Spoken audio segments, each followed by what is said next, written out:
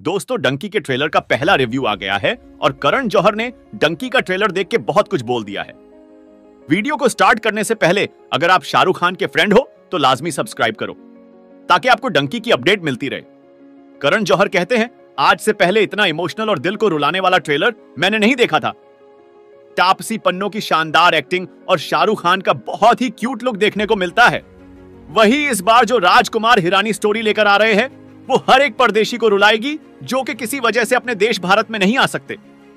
इस बार राजकुमार हिरानी ने कमाल कर दिया, और ट्रेलर ही इतना बवाल है तो सोचो मूवी कितनी शानदार होगी। इस बार शाहरुख खान सारे रिकॉर्ड तोड़ देंगे, और एक नया एहतियास डंकी लिखने आएगी।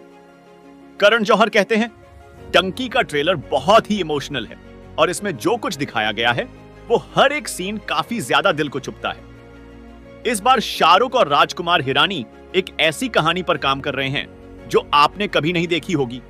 और जो सिंप्लिसिटी और सादगी से ट्रेलर को काता है, वो भी एक बहुत बड़ी कला है। वहीं सोनो निगम का बैकग्राउंड, म्यूज़िक और चार दोस्तों की इमोशनल कहानी, लंदन का सफ़र और इंडिया से बाहर जाने का सपना, ये सब कुछ आपको ट्रेलर में समझाया गया है। और जब डंकी का ट्रेलर इंटरनेट पर आएगा तो पूरी बॉलीवुड इंडस्ट्री को एक बार फिर से राजकुमार हिरानी झटका देंगे। और इस बार यह झटका बहुत ही खतरनाक होने वाला है। डंकी चार ऐसे दोस्तों की कहानी है जो कि भारत को छोड़कर विदेश जाना चाहते हैं। और वहाँ पर जाने के लिए वो एक ऐसा रास्ता अपनाते हैं, जो कि मुसीबतों से भरा पड़ा होता है। और फिर लंदन पहुँचने के बाद भी वो मुसीबतें खत्म नहीं होती, बल्कि बढ़ जाती है। फिर जो होता है, वो आपकी रूह को भी हिला देगा।